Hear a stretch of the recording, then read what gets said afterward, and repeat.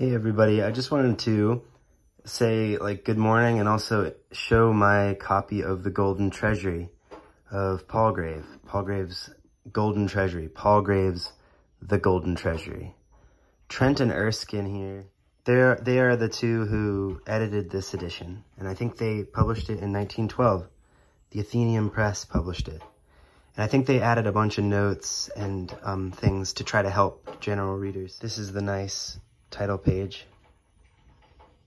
I haven't read Palgrave's preface yet. I should probably do that. There are four books. Book one contains a lot of Shakespeare in it, of course. Book two is, um, book two covers the years of 1620 to 1700. Book three is a bunch of 1700 stuff. And then um, book four is a bunch of stuff that you'll probably recognize. Three is a very interesting book because it has a lot of 1700s poets that you'll probably not recognize, and a lot of Thomas Gray. As you can see, the notes are pretty extensive. Uh, uh extensive. They're very um, extensive. Um, a lot of definitions. Peers, for instance, at line 26 on page 308, means those of equal station. As I said, there are a lot of names you'll recognize in book four, and in book four you get a lot of Wordsworth. Um, certain poets kind of rule the respective sections. Although you do get some rarer poets like Thomson, for instance, that you, is hard to find elsewhere, that are peppered throughout.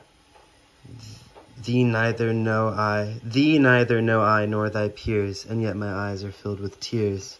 Sweet Highland Girl. Book fourth also seems to be the longest book because, I mean, it starts right in the middle here. So all the others are encompassed in this, like, earlier part. As I said, there's a lot of Gray in book three. I just like the pages of this book. It's really nice. Has a nice close to it.